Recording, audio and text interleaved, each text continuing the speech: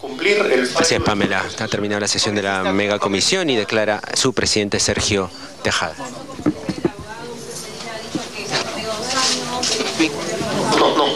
Lo que ocurre es que cada, cada que sale uno de estos fallos se tergiversa completamente y se presenta la realidad diferente a como es.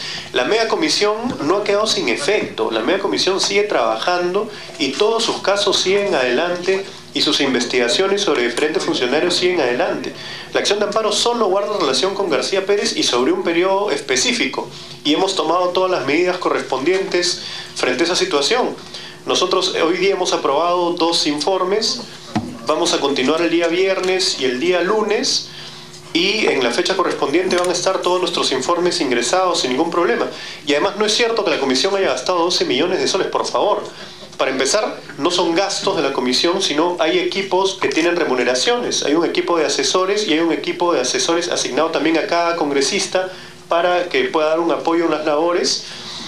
Y incluso la comisión ha funcionado con muebles reciclados que han salido de depósito, con computadoras que han llevado los propios trabajadores. O sea, no es cierto que hayamos generado un gasto mayor al que normalmente genera una comisión del Congreso. Pueden comparar con los gastos de la comisión de fiscalización, son similares, con la comisión de presupuesto, que son mayores incluso que los gastos de esta comisión investigadora. Están eh, tergiversando la realidad. Sí, presidente, ¿qué tal? Buenas tardes. Estamos en vivo para tener más. Yo quería preguntarle, nos acabamos de hacer en vivo, ¿usted considera entonces que no se ha eh, eliminado todo lo actuado por la mega comisión y en todo caso, cuáles son eh, con esta ratificación del Poder Judicial y desde qué fechas a su criterio pues sí ha dado la razón el Poder Judicial a Alan García? Sí, la mega comisión sigue funcionando no ha sido anulada en sus funciones de ninguna manera, ni ha sido perdido todo el tiempo que esta comisión ha trabajado, ni han sido anulados los casos que esta comisión ha investigado. La acción de amparo se refiere exclusivamente a García Pérez, que es la persona que lo presentó. Él pidió que se deje sin efecto todo lo actuado con respecto a su persona. El juez constitucional nunca le dio la razón en ese punto, pero sí le dio la razón en anular la sesión del 3 de abril y en verdad lo actuado desde que se hizo esa segunda citación el día 8 de marzo hasta que se presentó la acción de amparo. Ese periodo ha sido anulado y nosotros desde la primera instancia, cuando nos enteramos de esa resolución, procedimos a hacer una nueva citación en cumplimiento de ese fallo. Entonces, que dicho fallo haya sido ratificado no varía en lo absoluto, en verdad, la labor de la comisión, porque ya hemos tomado las previsiones del caso. ¿Y estos dos informes que se han aprobado hoy, a qué se refieren y cuál es la situación del exmandatario respecto a estos casos? Estos son eh, casos eh, que tratan de denuncias ciudadanas y denuncias periodísticas, uno de ellos, que es el informe de los casos complementarios, y otro que hace un análisis de decretos de urgencia relacionado a algunas obras importantes y a determinados fondos que se crearon en el periodo anterior.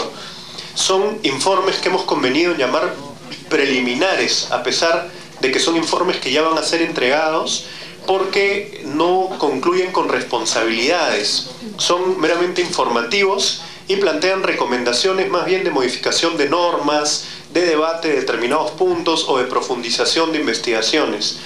Eh, el caso puntual de estos dos informes no tiene ninguna importancia eh, la confirmación del fallo por parte de la Corte eh, Superior. Congresista, si me permite, eh, tengo acá la resolución que ha expedido el Poder Judicial y en la parte resolutiva, eh, en el primer punto dice que en consecuencia se ordena y precisa lo siguiente, nulo lo actuado por la Comisión Investigadora Multipartidaria encargada de investigar la gestión de Alan García como presidente de la República a partir de la citación del 8 de marzo de 2013, lo que implica la nulidad de los actos posteriores o sucesivos referidos exclusivamente al demandante y reponiendo las cosas al estado anterior a la violación de los derechos constitucionales. Eso es exactamente lo mismo que dijo el juez constitucional Velázquez en su primera resolución. Esta sentencia lo único que hace es confirmar esa resolución y nosotros hemos tomado todas las medidas que hemos considerado pertinentes en cuanto tuvimos conocimiento de la resolución del juez constitucional. Pero, pero, congresista, congresista, resolución, congresista, disculpe. La resolución no, no señala eso que usted dice con esta tejada, de que se han tomado las precauciones, que por lo tanto se ha subsanado este tema, ¿no? No, porque no opina al respecto.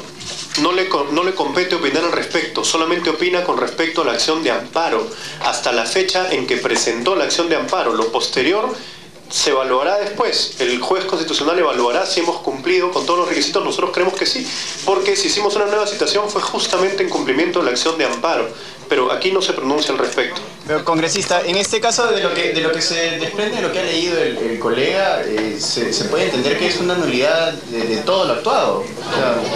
Dice claramente con respecto al demandante. Sí, presidente García. A ver si nos explica bien, Acá hay un término y reponiendo las cosas al estado anterior a la violación de los derechos humanos, pero también dice lo que implica la nulidad de los actos posteriores o sucesivos al 8 de marzo. Entonces, es todo.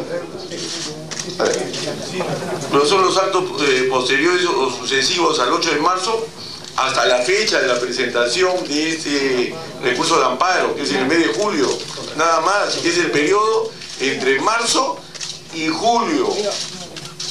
Eso es. Y luego cuando se hizo la nueva citación al presidente Alan García, entonces esa citación la, última 30 de octubre, eh, ahí ya se eh, restituyó todo lo que se había anulado y de ahí se ha continuado trabajando. Y además hay que leer también otros párrafos de esta sentencia. Dice, se declara que la Comisión Investigadora Multipartidaria es competente para investigar la gestión de Alan Gabriel García Pérez como presidente de la República, dentro del plazo encomendado prorrogado por el Pleno del Congreso. Por tanto, el demandante podrá quedar sometido a dicha investigación, pero respetándose el debido proceso en los términos expresados en la presente sentencia, para lo cual tiene que subsanarse el procedimiento a partir del vicio indicado en el acápite 3A de la parte resolutiva, que es justamente lo que estamos indicando. O sea, eh, y lo que ha indicado el presidente de la mega comisión. Entonces, el trabajo que se ha eh, eh, prácticamente que estamos concluyendo y que se va a presentar en las fechas previstas, está totalmente validado. Por eso Tejado, ¿usted no siente que su comisión ha sido torpedeada? Porque si se está investigando el caso de TR o Agua para Todos y el mismo presidente por el tema de narcoindultos y ha mencionado que narcoindultos ya no estaría involucrado, ¿qué se está investigando entonces? ¿O qué van a presentar como informe final? Perdón, quedó anulada la primera declaración del expresidente sobre los narcoindultos, pero no la segunda. Cuando hicimos la nueva citación se volvió a preguntar, se pudo profundizar más porque teníamos más elementos y eso sí está incluido en el informe que hemos emitido. Nosotros tomamos todas las previsiones del caso tomando en cuenta que si bien había una posibilidad de que se acepte nuestra apelación, también existía la posibilidad de que se ratifique la sentencia inicial y se ha ratificado la sentencia inicial, entonces no hay eh, mayor inconveniente. La, sentencia hay que leerla en, en su conjunto porque nos ha sorprendido que mientras estábamos en sesión salieron algunos titulares en un sentido totalmente diferente, señalando que la media comisión dejaba de existir prácticamente y eso no es cierto.